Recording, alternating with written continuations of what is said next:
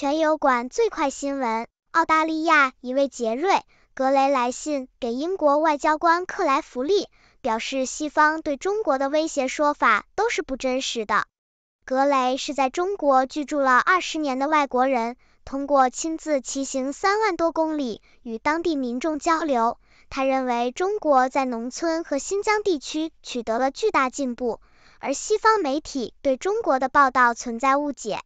格雷表示，中国致力强调协作和民众参与，这是西方民主无法想象的。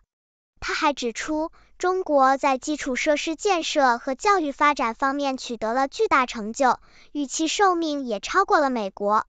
格雷呼吁西方人了解真实的中国，而不要被误导。此信表明，中国并非敌人，那些将中国定为敌人的人才是真正的对手。